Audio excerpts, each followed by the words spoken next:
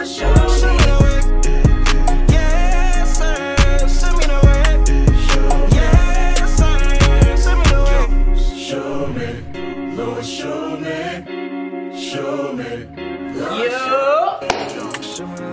going on, guys? Welcome back to Godriven TV with your boy, LaShawn Taylor. Man, welcome back, family. If you're new here, man, I appreciate you for tuning in.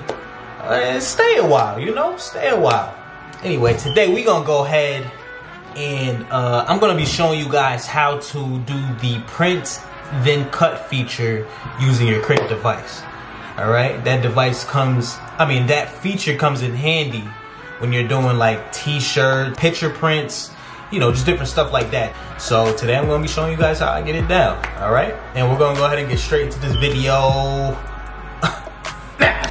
All right, guys. So the picture I chose was this picture of SpongeBob in the Jordan Retro 4 Lightning sneakers.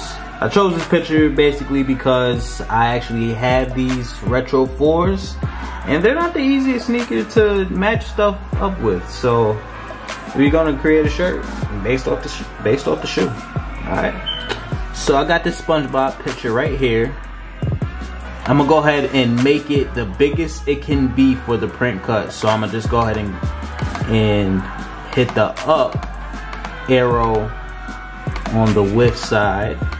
And as you can see, it's getting bigger. It's getting bigger. I'm to move it up just a little bit. It's getting bigger. All right, now we see that how this icon came up next to the picture, say it's like a caution icon, basically letting us know that it exceeded the uh, required measurement. So you gotta hit the arrow down just a little bit. About one, as you can see, it went it went away again. So this is the biggest we can do on as a uh, print cut. All right, so I'm gonna go ahead and click make it. All right, so we got it on our mat.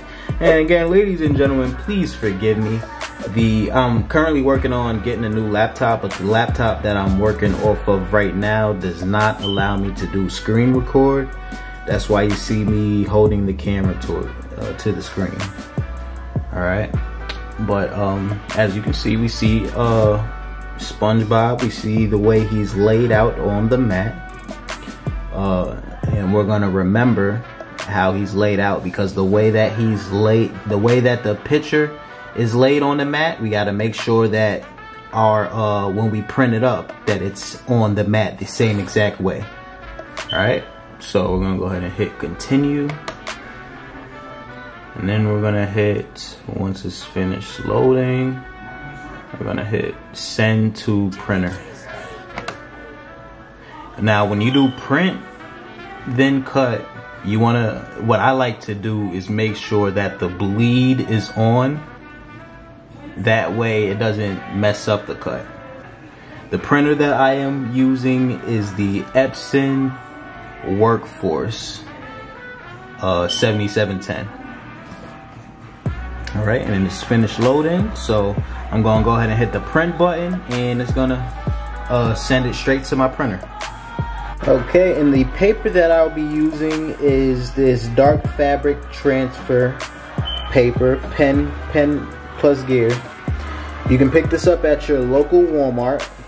Now, this brand is on the cheaper side compared to other brands, but it is uh, pretty convenient. Uh, comes with 10 sheets inside, and it's it is about it's around ten dollars at Walmart. So pretty convenient. That's why I do I do pick this up pretty often. All right, guys. So we got it printed out, and like I told you before, the way that it is on the mat on the computer is the exact same way that you want to place it onto your Cricut mat. Make sure it's at the corner. So that way when it's reading and and you know configuring it can get the the cut that you desire it to get and it doesn't get a whole different cut from it all right so from our computer we're gonna we're gonna go ahead and hit printable iron on dark as the material that we wanted to cut. This is very important. You want to make sure that you note this because if it's not on the correct material, it will definitely mess up the cut. It may not even read it.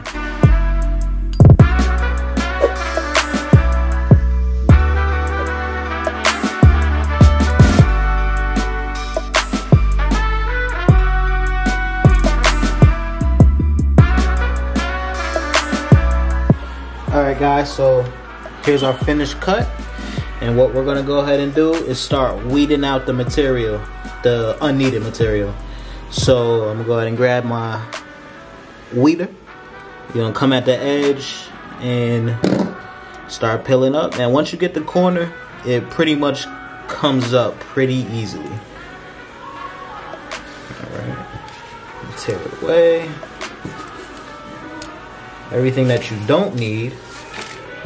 Now this cut has like inside parts, so what you want to do is just go ahead and grab your weeder again and get the inside parts out.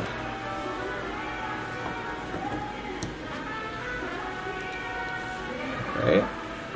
And here's how it looks after you do that. Everything is cut out pretty perfect. All right. So we're gonna go ahead and start prepping our t-shirt. All right. So we're gonna go ahead and get our get all the moisture out of our t-shirt.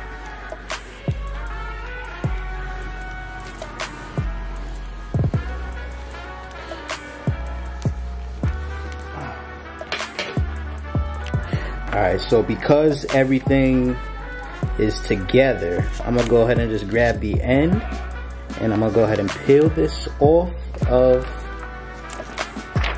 the paper and I'll place it where I desire it to be pressed at. All right, so we're gonna go ahead and put this paper that is supplied in the pack over the cut. So we're using our Cricut EasyPress 2. I got the degree set to 375 and I'll be pressing it for about 20 seconds.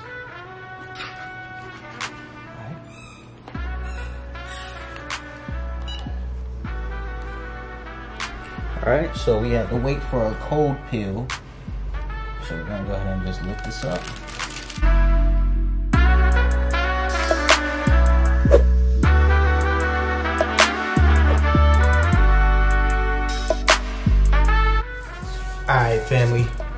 Guys enjoyed this video. Hope you guys learned something. I hope you can use it in your own uh, cut projects.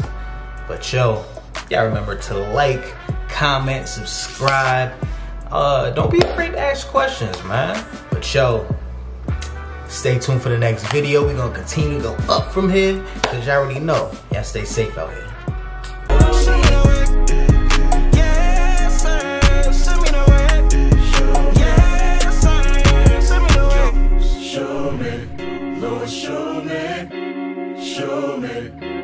show me.